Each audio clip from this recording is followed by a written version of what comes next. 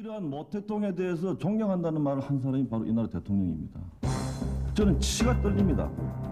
과연 이러한 사람을 우리나라의 대통령으로 인정해야 될 것인가? 저는 제 마음속에 노무현을 이 나라 대통령으로 인정하지 않고 있습니다.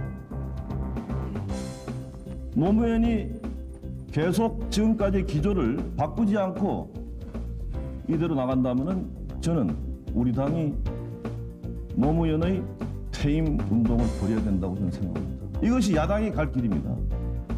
어, 그동안 심정관을 거듭해서 어려운 상황에 빠져버린 노무현 대통령은 제게 노무현 대통령 한번 질문하겠습니다.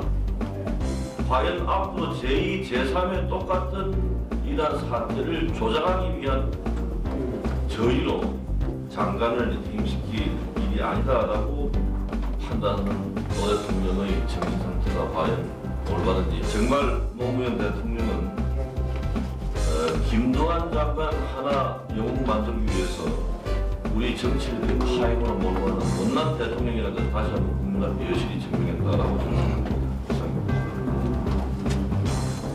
어, 김동완 장관, 김동완, 김동완 장관 하나 영웅 만들기 위해서 우리 정치를 파행으로 몰고 가는 못난 대통령이라는 것을 다시 한번 국민